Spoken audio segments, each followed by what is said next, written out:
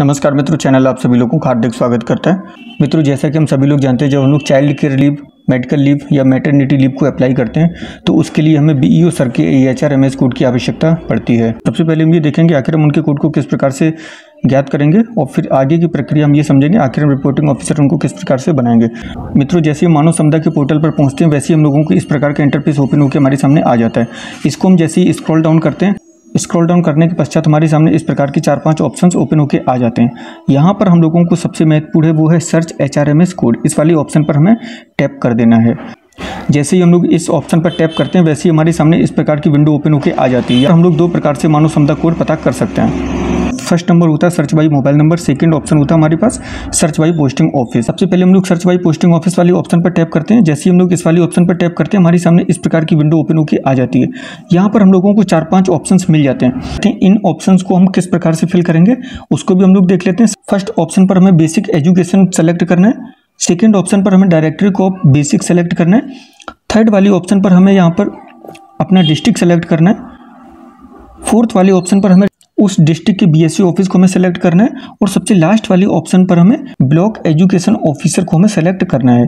इसके बाद हम सबमिट वाले बटन पर टैप कर देंगे। जैसे ही हम सबमिट वाले बटन पर टैप करेंगे, मित्रों, आपके जनपद में जितने भी ब्लॉक एजुकेशन ऑफिसर कार्यरत होंगे, उन सभी का डिटेल यहाँ पर प्रत्येक रूप में आपको सीन हो जाएगा। पर आपको उनका E H R M S code seen हो जाएगा। यहाँ पर उनका नाम भी सीन हो जाएगा और जिनका भी आपको यूज़ करना है, उनका आप E H R M S code note down कर सकते हैं। मित्रों, यहाँ से हम लोगों ने अपने ब्लॉक एजुकेशन ऑफिसर सर का जो E H R M S code था, वो हम लोगों ने ज्ञात कर लिया।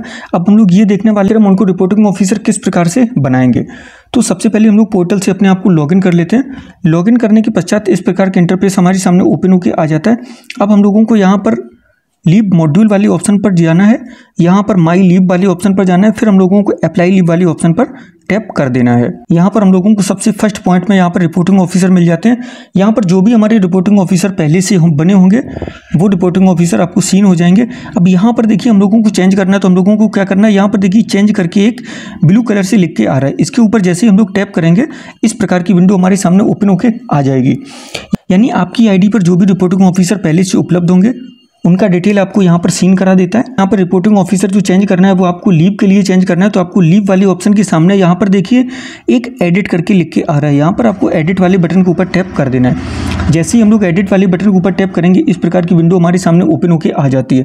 अब यहाँ पर भी हमें देखने को मिल जाता है फिक्स बाई ई कोड यदि आपको उनका ई कोड मालूम है तो आप ई कोड के माध्यम से उनको तुरंत ही चेंज कर सकते हैं। सबसे पहले हम लोग बात कर लेते हैं, जब हम लोगों को उनका ई कोड मालूम है तो हम लोगों को उनका ई कोड इस वाली ऑप्शन पर हमें यहाँ पर हम लोगों को उनका ई कोड फिल कर देना है और हम लोग व्यू वाले ऑप्शन पर जैसे ही टैप करेंगे, वहाँ पर उनका जो भी डिटेल होगा वो हम लोगों को सीन करा देगा और हम फिर उसके बाद में अपडेट कर देंगे तो हमारे रिपोर्टिंग ऑफिसर चेंज हो जाएँगे। अब यहाँ पर सेकेंड ऑप्शन हमें यहाँ पर मिल जाता है fix by search by search से मतलब जब हम लोगों को उनका E H R M S code मालूम नहीं है, तब किस प्रकार से हम लोग करेंगे?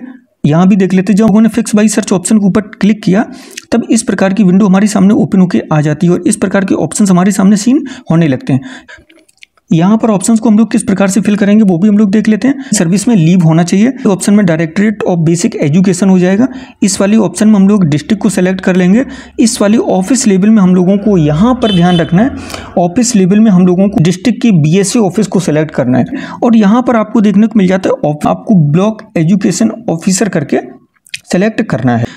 तुरंत ही यहाँ पर रिपोर्टिंग ऑफिसर एक स्क्रॉल डाउन करके आपको उस ऑफ़िस में जितने भी लोग कार्यरत होंगे, उन सभी का डिटेल आपको सीन होने लगेगा। फिर आप वहाँ से अपने जो भी आपके, जो भी आपके वर्तमान बी सर होंगे, उनका नाम आपको वहाँ से सीन होने लगेगा और उनके ऊपर आप टैप कर देंगे। वहाँ पर टैप करने के पश्चात आप ये अपडेट वाले ऑप्शन पर क्लिक कर देंगे। जैसे ही आप अपडेट वाले ऑप्शन पर क्लिक कर देंगे, आपके successfully B sir reporting officer के तौर पर बदल जाएँगे। उम्मीद करता हूँ मित्रों, आप सभी लोगों को ये प्रक्रिया बहुत ही आसानी से समझ में आ गई होगी। तो और भी इन्फॉर्मेटिव वीडियोज़ पाने के लिए हमसे जुड़े रहिए। थैंक्स फॉर वॉचिंग मिलते हैं अगले नेक्स्ट वीडियो में।